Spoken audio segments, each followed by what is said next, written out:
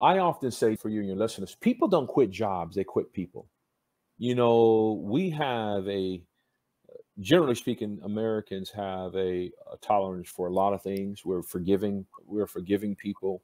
We're people, you know, I've come to, in my time working with leaders and people of organizations, people will endure low pay, difficult working conditions at times, maybe a dilapidated building, maybe this this computer is not the latest model that I have at my desk that has been given to me by my job to work on.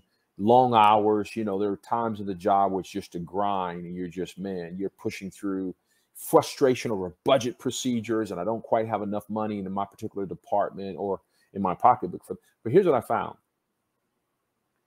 If people are serving alongside someone they respect, working along someone that says she gets me as a leader, I am valued by him as a leader. All those things, not that they're not important, they become less important because people mm-hmm. say, you know what, this conditions or these conditions may be temporary, but man, this person is all in with me.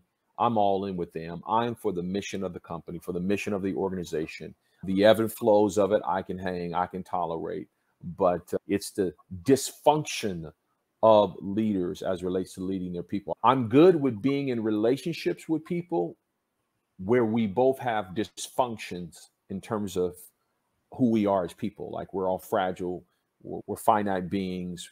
Uh, another colleague of mine used to say we're all hypocrites in transition. Here's what I'm not cool with. I'm not cool with being in relationships that are dysfunctional. So one is about me. Look, man, I got my idiosyncrasies, I got my issues, my struggles, my hurts, my harms, my habits. I accept that. I see that. I embrace that. The totality of you as a person, I'm good with that. It's the dysfunction in our relationship, I think, that is the where the rubber meets the road for so many people. And let's face it, you know, democracy and, and a free flowing economy like ours, well, people have options. People have options, and mm-hmm. those options are oftentimes uh, I'm all for the open market because with that, it, people have choices. And now it is about things like those intangibles, best practices, and having people that feel valued.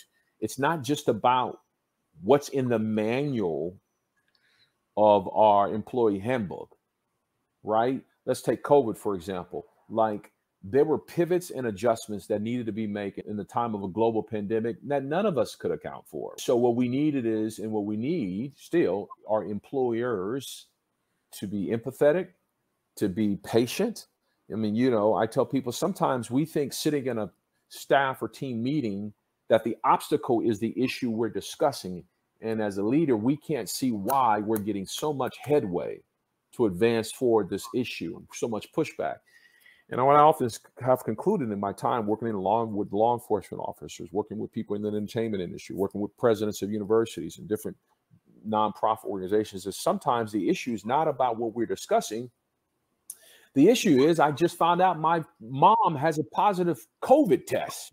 I'm worried mm. about her breathing, you know, or I'm here at this job and oh, by the way, the local school district has decided to amend their policies with regards to mask mandates and also online. That means stay at home for more for the kids. That means I got to account for my son or daughter being taken care of. And so when employees show up at your their place of work, they're bringing the totality of who they are to that space.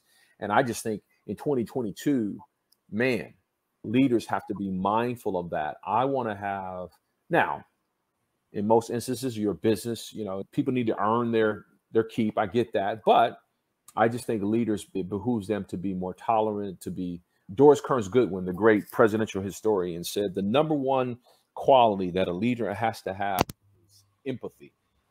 Yeah. Empathy. And empathy it has a texture. Maya angelou the great poet said people may forget what you say but they will never forget how you made them feel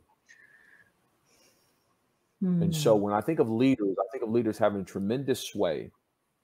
A leadership has texture, it has smell. Leadership has a presence, has a tone. And my late seminary president, the great William Crews, Bill Crews, would say often, Goodie, sometimes leadership is best defined in its absence. Mm. And we certainly uh, in the last few years have seen what happens when leadership is void in the moment. It can literally cost lives.